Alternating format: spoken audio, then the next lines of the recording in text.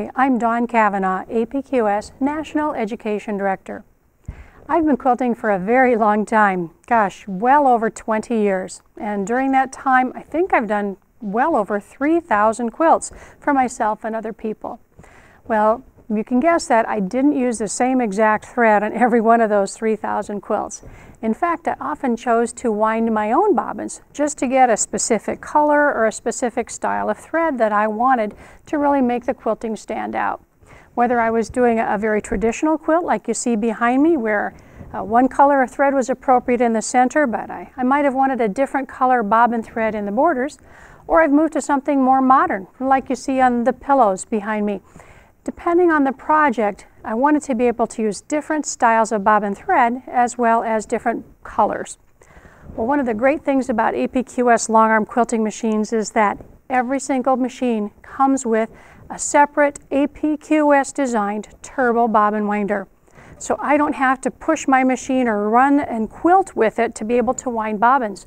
I can get every bobbin ready to go before I'm ready to even start my quilting, so I don't have to stop quilting as I'm working, just waiting for a bobbin to get filled. The turbo winder has easy tension adjustments and it's super simple to load and thread different styles of bobbins as well as thread. So I'd like to take just a few minutes to show you how to put your turbo winder together and to change the tension and use it for different types of thread for your APQS quilting machine. Your APQS turbo winder will come with everything you need to wind your own bobbins. It will include a thread stand, a thread mast to keep the thread coming off the end of the thread stand, a couple of washers we'll use to mount these two pieces. You'll also find a small black neoprene washer in your baggie. This is helpful when you're using bobbins like metal bobbins, for example, that might tend to slip a little bit if they don't have a slot cut into the bobbin for winding thread. And of course, you'll have a power cord and a foam guide to help support the thread, uh, thread cone rather while it's sitting on the machine. All you'll really need to assemble it will be a handy pliers. I'm going to start by adding the actual thread stand, the shorter piece, you'll see that it already comes with a nut and a locking washer installed on the bottom. Grab the brass colored washer, the one with the smaller opening, there we go, and slip it right over the end. Then simply add it to the top of the winder and rotate it until the winder post is firmly inserted. Raise the camera so that you can see a little better. There we go. And of course, use your pliers to tighten that up. Next, we'll install the thread mast. It will already have a nut installed on its base. You'll need the larger washer to attach this. Simply slip the larger washer over the base of the thread mast, and that's going to go into the opposite hole across from the thread stand itself. Of course, the fastest way is to simply spin it around and around and around until it's all the way down into the actual winder housing itself. So once we get close, you'll notice that it's going to start to tighten up. Let me zoom up a little bit so that you can see that here. There we go. It's starting to tighten up. We want to make sure that the actual mast itself, right at the top, is aimed directly over our thread stand. So match up this U-shaped piece right over the thread stand so that your thread will come straight up and guide properly down to the tensioner. Now, if you can't quite tighten it up in that exact position, align it and then use your pliers to tighten the nut in the position and keep it in that same locked location. Next add the foam support right over the thread stand and push it down gently so that the Velcro holds it in place. Well, all that's left is to make the electrical connection. I'm going to turn the winder around so that you can see the back side of the winder. Right here, we've got the access port for the incoming power cord that's included with the winder. Take your power cord and insert it directly into the outlet on the back, and of course plug the other end into your power outlet. If you don't live in the United States or Canada, APQS will include a transformer for your turbo winder. However, you may need to locate an adapter to convert the plug for the transformer to the outlet that matches your wall. If your bobbin winder suddenly stops, of course, first check the outlet and your fuse in the house to make sure everything is okay. But your bobbin winder is also protected by a fuse right near the power input. This is actually called a power input module. I'm going to set it down so I can grab my screwdriver and I will reach right here in the middle where the plug inserts into the winder and pull forward to expose the fuses. See if I can turn it so that the camera can actually see those. There they are. So the fuse that is actually closest to the turbo winder is the one powering the winder at the moment. The one that is forward facing is a spare. So you can take the spare, put it in the rear position, push it back in, and you're back in business. Fresh from the factory, the thread path will be taped to the turbo winder. The thread is going to come directly from the cone straight up to the guide above the cone. From there, it's going to travel right down to the tension assembly. Let me zoom in a little bit so that you can see a little better. There we go. The thread will pass through the top eyelet, through the tension discs, and then out the bottom eyelet before traveling across the winder to the bobbin and the winding mechanism itself. Some threads, like the one you see here, tend to slip and puddle down around the bottom of the cone. For those instances, APQS has included a thread net. The thread net can stretch right over the cone and help control some of that spillage. The easiest way to load that for many people is to take the cone and slip the thread net up from the bottom, making sure that the thread exits directly out of the top. Then put it back on the winder and make sure that the thread pulls right out of the top. This will keep your thread from slipping down and getting caught on itself or on the actual spool. Well, the thread net does do a great job of keeping all of that slippery thread in control. But I have to admit, if I'm changing lots of different colors, I'm just not very patient enough to change the net with every single cone. So I'm going to share a little trick with you that I've done for many years to replace the thread net. I've cut a piece of batting about one inch by about three inches long, and I'm going to roll that into a thin little Tootsie Roll. I want it to be a small little tube. There we go. Just a little tube. I'm going to slip that right in the top of that thread guide above the cone. Just like that. Well, now with that little piece of batting up there doing the job of the thread net, it holds on to the thread nice and firmly all the way back to the cone so that it can't puddle down on the side. Now, of course, that does add a little bit of tension, so I will need to adjust the tension on the bobbin winder appropriately. I've turned the winder slightly so that you can hopefully see the top eyelet above the tension assembly and the bottom eyelet. The thread is coming directly from the thread mast and the thread guide above the cone. So I'm going to take that thread right through the top eyelet. Then I need to bring it between the tension discs on the winder itself, right down in here. Oh, my hands are in the way. Let me see. There we go. So I've come between the disc. You can see it right here. Make sure the thread is between the discs. Pull firmly both above and below that, see if I can get my hand out of the way for you, to make sure that it is seated tightly between the discs. But we need to come out or exit that lower eyelet. Probably should have put my glasses on. there we go.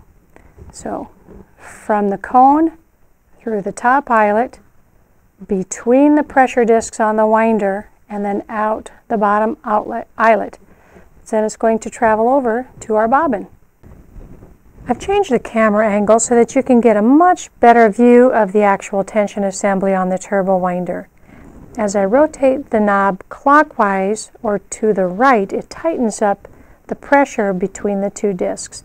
And as I turn it left or counterclockwise, it will loosen the pressure. In fact, I'll turn it several revolutions so that you can start to see that spring come away and the two discs then are a little bit farther apart, a little looser.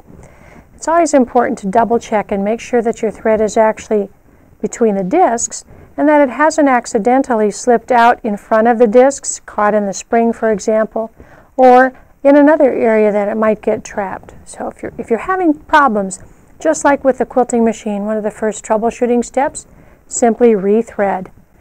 So our thread will be coming from the tensioner across to the bobbin that will be installed on the winder mechanism itself.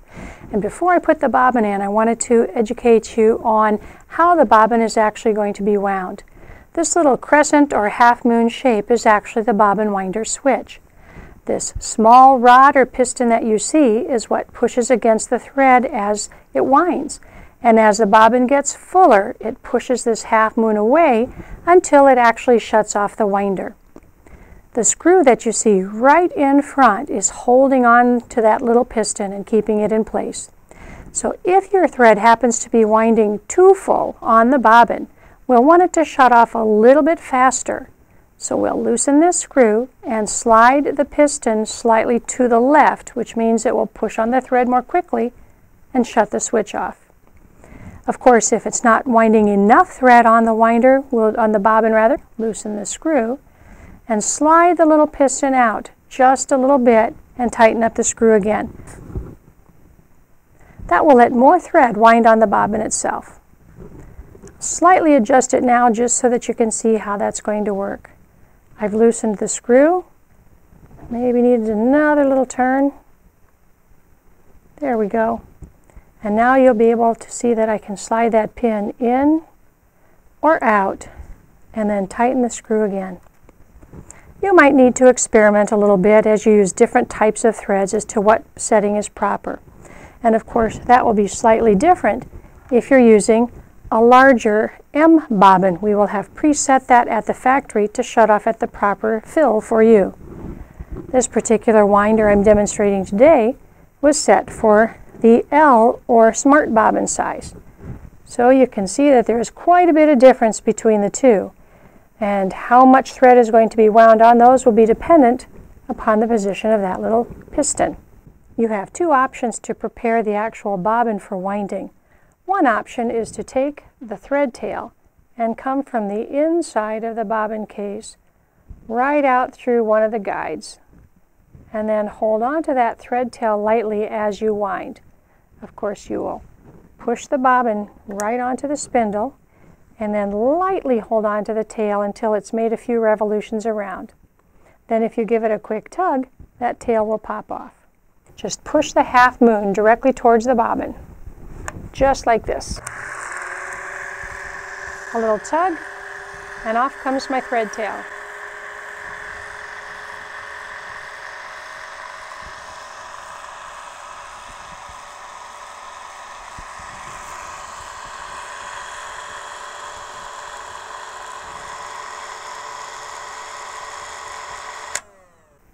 You can also simply take your winder and attach the bobbin and then wind your bobbin thread several times around the bobbin. You want to wrap it in a counterclockwise motion and hold on to the tail and engage the winder.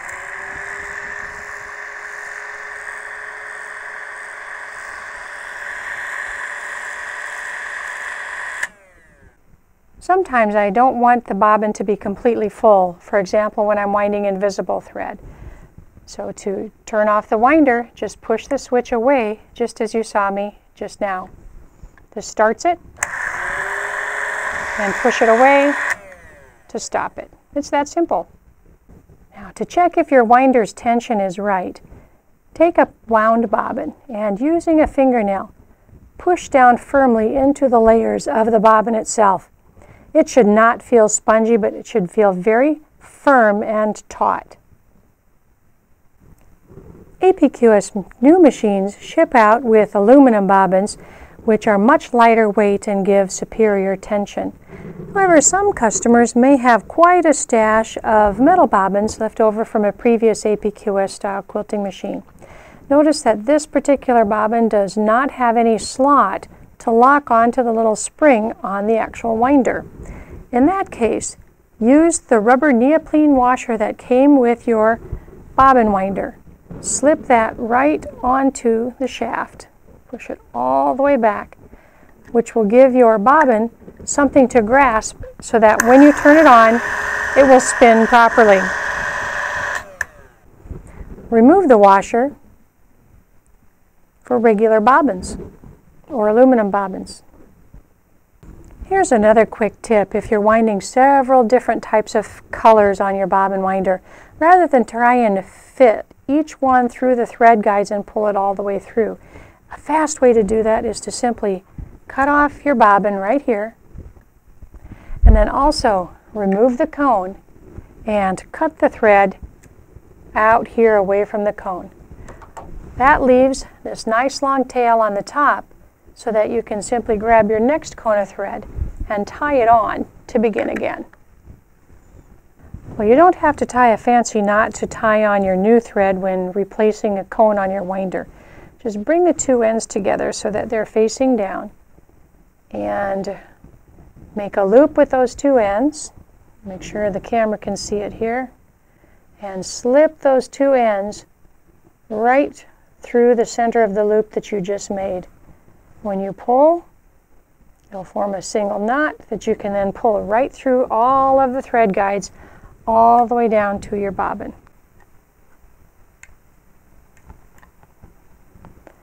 Just make sure that the thread has remained between the two tension discs as you pull. If you're using a cone of thread that's quite a bit shorter than the actual thread guide itself, there's a chance for that thread to get tangled up on the top of the spindle.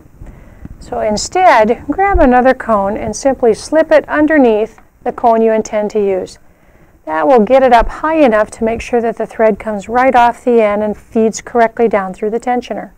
Don't be afraid to experiment with different types of threads both in the top or even in the bobbin. The APQS Turbo Winder will let you wind your bobbin consistently from the beginning of the bobbin all the way to the end and it'll also be super fast. That makes it a lot more fun to experiment with different threads in the top as well as the bobbin and explore more creative options for your long arm quilting. Check us out on our APQS YouTube quilting channel where you'll find more helpful tips on using your APQS long arm, including tips on using different types of threads in the top as well as the bottom. Also, we invite you to visit our Facebook page and stop by apqs.com for more helpful tips and information about APQS long arm quilting machines.